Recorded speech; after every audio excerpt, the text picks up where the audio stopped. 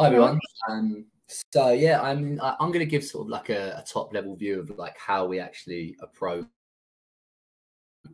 the um the process and the timeline that Fran's just mapped out, and like how we sort of like broke that down uh, with our first campaign. So like how we approached that week to week, and like sort of how we structured it. Um, so I'll kick us off sort of in week one. Um, so week one, you're still like in the the research and validation stage of this process. Um, so like for us to break that down, that meant the first few days spending a few days collecting and analyzing as many first-hand customer insights as possible. So really dive into any first-hand information that you have, because um, that's sort of like forms like the foundation of your initial idea and your initial concept. Um, so really diving into that, and then um, what we did was come up with an idea. We didn't necessarily have that like formalized on paper, but what I did was have a meeting with your internal experts with that idea. So the person that's probably closest to the customer in your company, um, flesh out that initial idea with them, discuss it, assess it, and get the analysis, that sort of in, initial validation from them. Um, and then when you're confident after that meeting, that's when you go away and build like the what of your campaign. So, like what you're going to bring to market, what message you're going to bring to market. So, your concept, your narrative, all of your key messages, go away and get that formalized on paper. Um, and then at the end of the week one, that um, that concept, that narrative, all those key messages, and meet with like either your campaign team or like the main stakeholders in the business who are involved, um, and spend some time fully assessing those pieces. So really go through the concept, the narrative, the messages, and the main purpose of that meeting at the end of the week is just to get everybody as aligned as possible moving into week two so that there's no days. Um, you know exactly, um, everyone knows exactly what the plan is and what the idea is um, at that stage and what you're going to bring to market. And if there is anything else to tweak or there are changes to make, you've got time going into week two and you know exactly what needs to be done. Um, so that's all in a nutshell how we approach the week. But to give you an idea of like how that worked for us, um, so like we knew campaign, like we wanted to target our marketing persona and we were going to initially do that six to eight week period and evaluate that at the end of that time period. Um, and for me, what informed sort of like my thinking and my initial research is that if I had six to eight weeks to um, to run a campaign um, and for us to target our marketing persona, I didn't want to cram campaign full of all the various marketing use cases and all the value that we bring marketers because there's a lot of things we can talk about. I wanted to focus on promoting one thing really well and having one message that went out really clear and promoting that really well in that six to eight period period to give it the best chance of resonating. Um, for me, what led my research is I needed to figure out what's the one message that would motivate the majority of our persona. Like, what was the most common use case among our customers? What's motivating marketing buyers to come to Cognism and seek us out? Um, and I think for most marketers, like the ideal situation would be that you'd be able to, like, especially in your research phase, like you'd be able to go out and like do like a few weeks of interviews with like your best customers, analyze all that, maybe run a huge survey. Um, but in the real world, like often marketers don't have that sort of time and that sort of resource. So what we leaned into was the first party, uh, the first hand customer insights we had. And fortunately for us, we have all of our customer case studies uh, recorded in Gong. Um, so all of our case study calls. Um, so I dived into those, listened back to all of our case studies um, with all of our marketing customers and analyzed all those responses. Um, and sort of what that overwhelmingly showed me was that the majority of customers coming to Cognism, marketing customers, were motivated to, to come to us because of our lead generation use case. So essentially data to give to your sales team or to fuel your campaigns. That was the main reason they were coming to us. Um, and that sort of firmed up the idea that that was what we wanted to promote. That's what we wanted to take to market. We wanted to promote this like this lead generation use case. And during that research phase as well, a theme that we'd sort of like uncovered and we'd like we'd discussed was this idea of B2B marketing doesn't have to be boring. You see a lot across LinkedIn, you see a lot of marketers talking about it. Um, so that was like a, an extra sort of like facet was like, we've got this lead generation use case, we've got this potential theme to set it against. Was there anything to link it together? Um, and it's at this point in week one, you can start getting creative about like what your sort of concept actually, sorry, let me just go back. What your concept actually is. Um, so we started thinking about those two things, and this was the concept that we come up with. It was called Screen Marketers from B2B Boredom. Um, and in a nutshell, the campaign is essentially linking that popular pain point, so B2B marketing being boring, with some of like the horrible, like antiquated, classic lead gen tasks that keep marketers from more productive work. So things like running gated content campaigns, syndicate content, uh, e-blast to get leads, um, dealing with list vendors, stuff like that.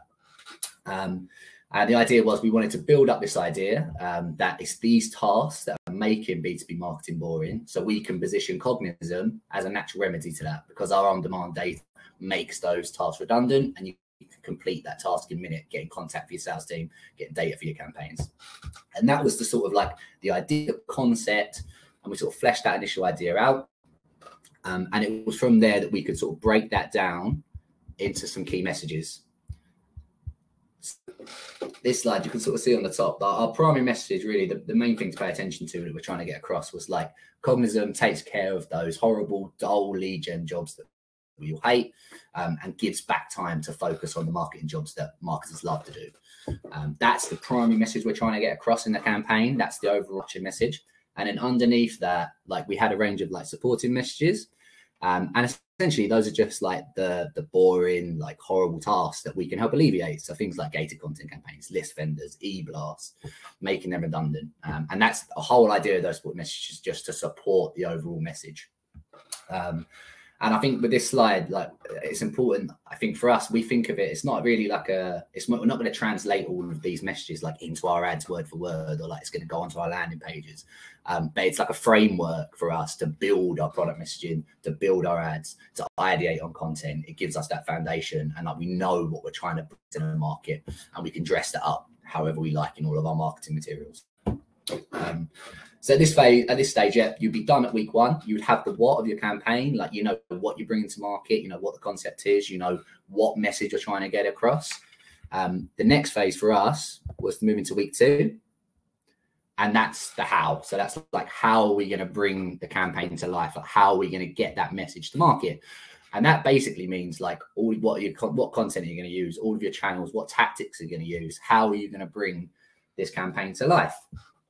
Um, and for us, the fact that we started with our content. Um, so the way that we approach content at Cognism, all of our content is grouped into buckets. Um, and you can sort of see that here. There's three layers to the content in the campaign. Um, so there's our content and thought leadership bucket at the top there. Um, and this is basically all of like the broad top of the funnel assets that we're going to use to build that camp that campaign narrative. So before we like talk about Cognism, before we mention our product, these assets are just going to help build the narrative of the campaign. So really identify and draw out the pain of those lead gen jobs that we all hate to do, um, and then show what's possible um, when those things don't consume your time, and like what's like what's a better way to do marketing, all the things you could be doing. Um, and the whole idea of this bucket of content and all the assets that exist inside of it is just to prime um, our prospects so that when our social proof messaging and our product messaging is introduced, um, that they might be a bit more effective to it because the idea has already been planted in their head. The campaign's been, the campaign narrative has been built. The idea that is already a seed in their heads. Um, and so you can sort of see like our social proof bucket, all of our testimonials and case studies, just to demonstrate in our customers' own words, all of like the tasks that we alleviate um, and like the freedom that we can give customers and our product bucket um, to make that connection between the cognism products, our lead generation use case, and the campaign narrative. So educating all the prospects, uh, educating prospects on like all the lead gen tasks we alleviate, and then hopefully like pushing them towards like a next action, whether that's like a demo or preferably some further product education. So like um, our prospects can learn about um, learn about our products um, at their own pace. Um, so that's how we approach content for this campaign. And to show that how that worked in practice for this campaign. Um, so this is our, if we look at our content and thought leadership bucket. Um, so I think the key thing to bear in mind is, is because this campaign, like it's been built in a way where we've done our research, we've used that research to inform like our, our mission and like our concept. And like the whole idea is that we want to find the most effective way to communicate that message and to like, get that, that message across. So we're not starting from like a platform first or a channel first sort of like way of thinking. We're not thinking, oh, we need to get to a webinar or we need to get some ads live or we need to get um, we need to do X activity. We're thinking, what is the most effective way to get this across? the most creative way to get this across. So it gives us scope um, to do things a little bit differently. Um, so for us, the way we approached, like for example, this bucket of content, we had sort of like a few key assets. Um, we had our content team go away um, and build um, a bunch of long form guides and um, long form blogs that really explain the whole narrative of the campaign and broke that all down. Um, so all the messages, our overarching primary message, and all the supporting messages as well. We brought the team in for a recording day, and we got all team team members to also unpack that message uh, that message in video form and really like get that narrative out there in video form as well. we did a live webinar, which we did a few weeks back. Um, and that was all about as well unpacking that key narrative um, in another format, giving it like a, a live dynamic. Um, and then on top of that, we haven't run this yet, but it's coming in the next couple of weeks. Uh, we're doing like a gift and direct mail um, promotion. Um, and that's also linked into the narrative as well. So it like it links into this idea of like uh, pain and like like the problems behind uh, those old old lead gen tasks and what's possible when you're not doing those. Um, with some meme videos as well. Um, but yeah, this is sort of like you can sort of see how we approach it. So we had those content pieces, and then like we spread that across like as many channels as we as we thought were effective as possible based on where our customers hang out. So all of those various content pieces are communicating the same message across a multiple of um, a multiple channels um, as making as big a splash as possible and helping build that narrative. Um, so that gives you an idea of how, how, we approach like content and channels and how we sort of brought the message and the concept uh, to life. Um, and then so at this point, like you have your what, you've done your research, uh, you have your how you're going to bring it to life. Um, you move into week three, which is basically building it.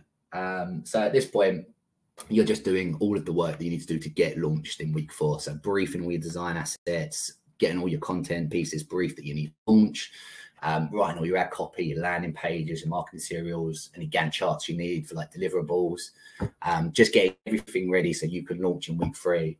Um, and just to sort of touch on something else here that Fran mentioned earlier that was important at this stage and slightly earlier. Um, for us, what was really important there we go. What was really important in this campaign was with all of our creative assets um, and all of our assets in general, we wanted all of them to have like a common visual identity. We wanted them to have like a creative theme. Um, and I suppose the whole idea behind that is that we had this one message that we wanted to distribute and get out there. Um, and like we wanted, like if a prospect sees all of our our assets across different channels and all in different places, the whole idea really is that that creative theme helps to tie those assets together and make that message easier to recall um, and make it more memorable, especially in that short time frame, sort of six to eight weeks, where we need to make an impact. Um, so that was sort of like the logic and the thinking, and you can sort of see like with what we did, we went for like a it's almost like a cartoon type of theme, really bright, really bold. Um, and like I think that played quite nicely into the idea of like like rescuing marketers from B2B boredom. Like it sort of just ties in and reinforces that whole narrative. Um, and that's why we sort of went with that. And we've seen some really good success with that. We've had some really great feedback. Um, and like consider like over time we've sort of seen like the sort of the impact of the ads and especially our blog pieces as well. Um, and we think that's really helped to tie the campaign together. Um, but yeah, so after week three, once everything's built, once everything's um, once everything's done, all that's left to do is launch. Um, so you launch in week four. That was our process. Um, and in week four, get it all out there, get everything live, and then start opening up that feedback loop um, and start looking at the numbers and like how you're doing, how things are performing, and then you can start optimizing mid campaign. Um, but yeah, that's um, that was that was sort of the whole process really from week zero to week four, get everything launched, and that's how we sort of like broke it down. Uh, that's everything from me as well. Um, if you have any questions for me, feel free to put them in the chat. Thanks, guys.